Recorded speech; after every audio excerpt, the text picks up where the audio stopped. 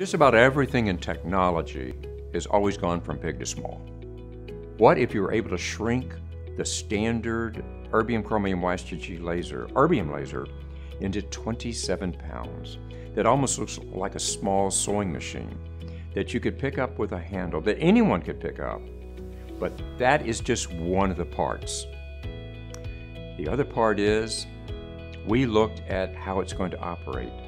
And when we put that tablet on that thing, that could actually be removed, that you could take home, when we are able to take a tablet and then add more than 120 animations to where the practitioner could literally go to laser school in a minute.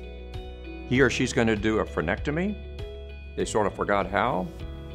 They hit the little camera button, and one of the finest animations in dentistry in the world comes up with the exact speed, the same angle of the tip. That's what made Express. And then the second, the last part is the price. We're able to substantially decrease the price because of the size. So if you take everything from the Big Daddy and make it, squeeze it into a 27 pound thing that does 90% of everything the big one does, then now you're making a technology for who?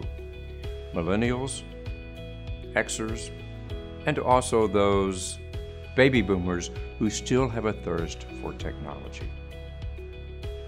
I believe that every periodontist will eventually have an Express in their operatory. Pediatric dentists, being able to do deciduous baby teeth, most class 3, class 4, class 5, with no local anesthesia, is a boon to any. You know, when you look at pediatric dentistry, it's not necessarily the kids, it's the parents that are having to deal with the kids with the anxiety of dentistry. You know what we're going to do? We're going to take we're going to take kids and make them into what? Fantastic dental patients with Express. So I can, you know, if you look at especially pediatric dentists, you look at uh, periodontists, but you look at oral surgeons who are now looking for a methodology to manage implantitis. They're looking at Express. They're buying Express. So when you put all that together as a package, Biolase is way ahead of anyone else in this technology by shrinking that thing down, making it financially acceptable, but being able to treat a myriad of procedures.